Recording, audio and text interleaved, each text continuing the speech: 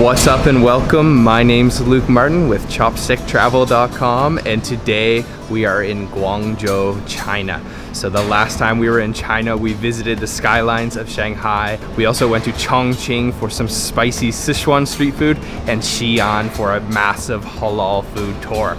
Today we are in the capital of Cantonese cuisine here in Guangzhou and we are going to be here for the next few days and the goal is to make a comprehensive set of videos for you guys to enjoy Guangzhou. It is early morning here in Guangzhou and we are going to have morning tea which also is known as yumcha. It is a way of life for the people here in Canton and it basically is a brunch that revolves around dim sum. We are at a beautiful restaurant for dim sum today called Dian Dou De. This is a restaurant that is famous for having over a hundred different types of dim sum. The first thing you're going to do at any yumcha restaurant is be asked what type of tea you want. We chose our favorite, which is also the most basic tea, which is Tieguanyin. After that, she will pour your first hot of tea for you, but then you will be required to pour it yourself and it is required basically to drink a ton of tea with dim sum. Every table is going to have a hot pot of water on it and the second thing you do after you pour your tea is to wash your dishes. So we're actually just gonna take a little bit of hot water and pour it in our bowl here, give those a little swirl and then you can just pour this right into the community bowl in the middle. Our dim sum has arrived and it's time to dig in.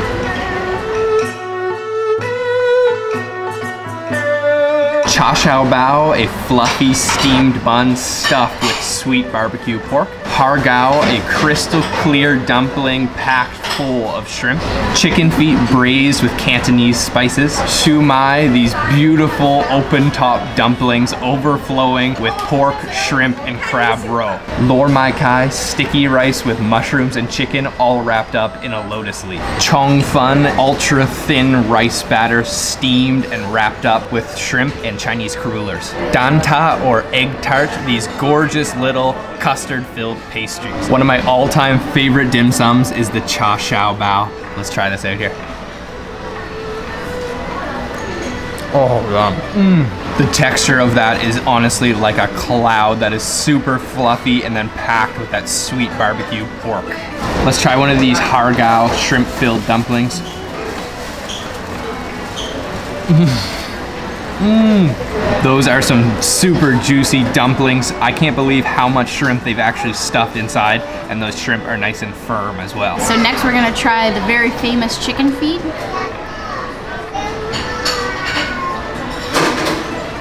Mmm, so there's actually not that much meat on the bone. You kind of just eat around it.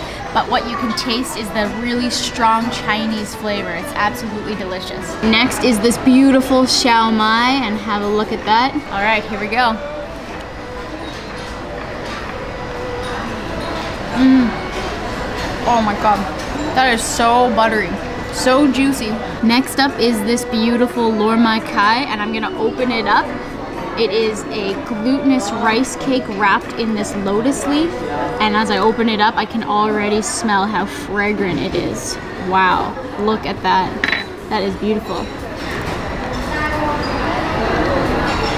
Mmm. All that flavor is coming from that lotus leaf. And this one is actually stuffed with chicken, mushrooms, uh, salted egg yolk, so it has tons of different flavors deep inside. We are absolutely stuffed and just washing everything down with a little bit of tea. This restaurant is awesome. They have so many different types of dim sum that I definitely recommend you come here and try it out and order some of the dishes we tried. I have to say my favorites were probably the chong fun and the cha shao bao. So let's have some more tea and then we'll finish off with their dessert. Mm. Oh wow, those are so delicate. Those are ultra flaky and that custard on the inside is definitely not too sweet. Very, very smooth, velvety, creamy. Finished off at the dim sum restaurant, we are absolutely stuffed. We just jumped into a taxi and we are heading to explore a market called the Qingping Market.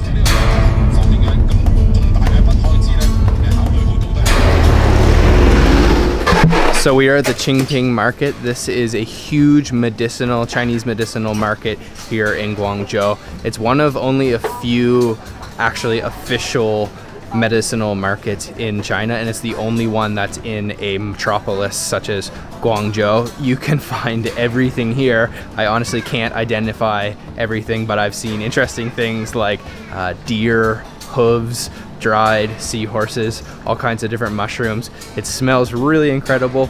It's also a really cool place for photography. A lot of the buildings here are pre-colonial and it's one of the only areas with pre-colonial buildings. So we're gonna keep exploring this market.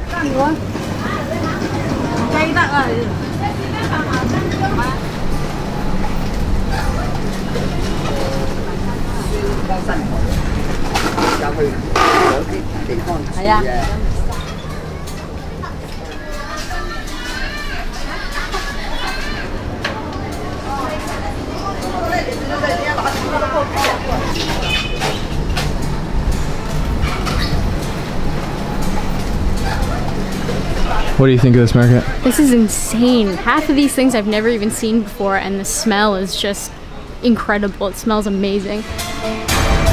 Ah.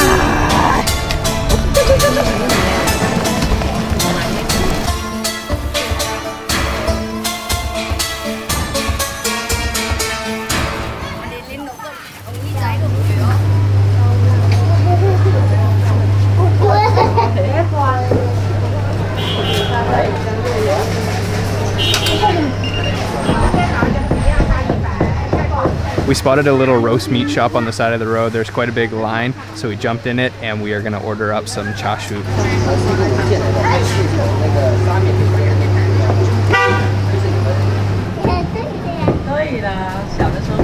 We have our box of roasted meat and you can get this all over Guangzhou. It is a staple of this region and this is a Cantonese favorite. We have the cha su, which is these beautiful pieces of roasted marinated pork rubbed with honey and spices and it is nice and juicy looking. So let's give this a bite here.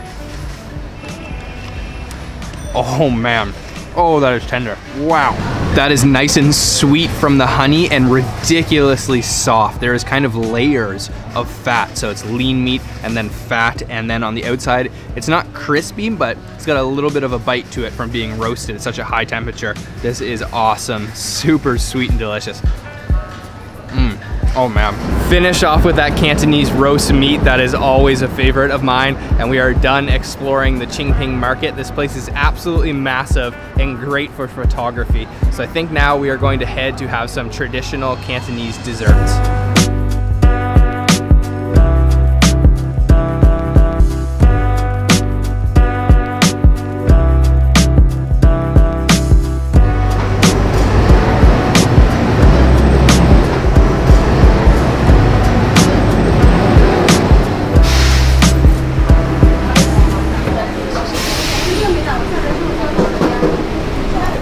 Have our dessert and this is called Shuang Pi Nai and what it is is a double skinned milk. So the way that they make it is really interesting. They actually cool steamed milk and then peel back the first layer of skin that forms on the top, remove the milk, mix it with some egg and sugar, and then make custard, and then put custard underneath the first layer of skin, let that cool again, and it forms a second layer of skin. And check this out, you can see it has quite a thick layer of skin on the top. We got one version that is cold, and then one version that is hot. So let's try them both in. Okay, let's break into this. And you can see, oh, it is quite thick the full way through. This is the cold version. And that looks awesome. Let's try it out. Mmm. Mmm. Oh, it's really good. That is extremely light, kind of airy and fluffy. I can't really distinguish between the two layers of skin because this is the cold version and it's kind of custardy the whole way through. It really reminds me of the egg tart we had this morning. But man, that is refreshing and delicious. Mm. Time to try the warm version. I think this one is steamed a little bit to heat it up. So let's try that. Mmm. Mmm. Oh yeah. That is super creamy. I'm not sure if this place does it, but traditionally they use buffalo milk for that extra fat content. Man, that is some super creamy double skin milk. That was a nice little stop for some dessert. This place is called Bai Hua Dessert Shop and they have hundreds of different kinds of desserts. We went with the most classic of Cantonese dishes, that is the double skin milk. So I think we're gonna take a little bit of a break before we head back out tonight for some dinner.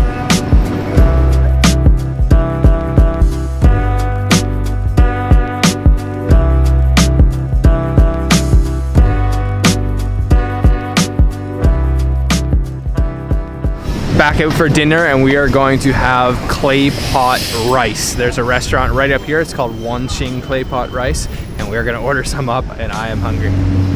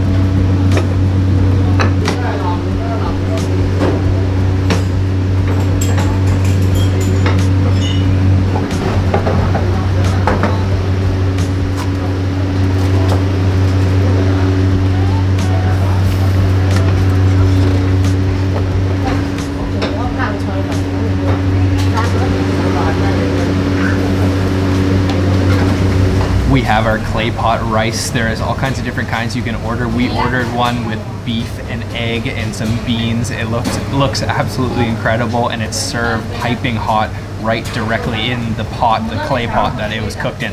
So this definitely requires you to mix this up a little bit. You don't want to let it sit too long, otherwise the rice will uh, start to stick to the side of the pot. So mix this around and man, that smells absolutely incredible.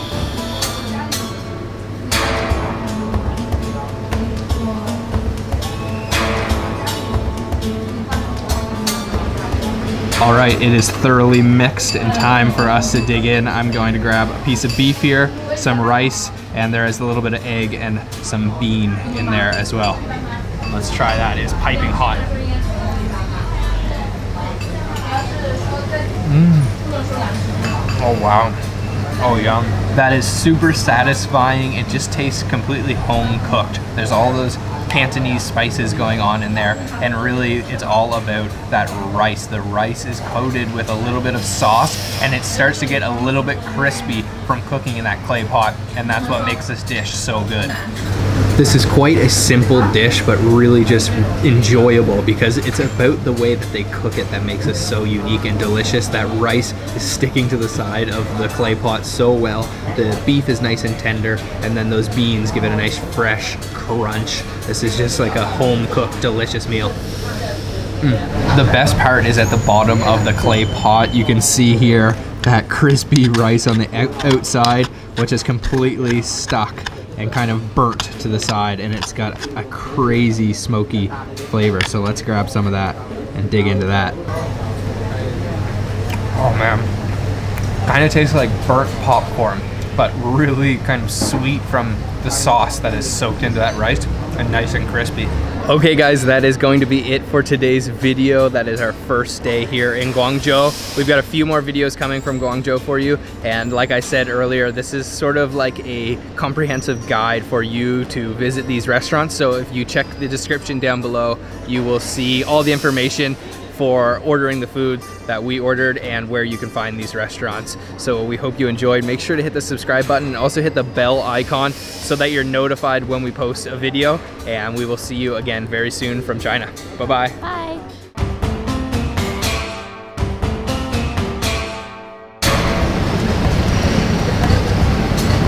Wow. Like I said earlier, this is the largest fish market in China, one of the largest in the world, full of all things from the ocean.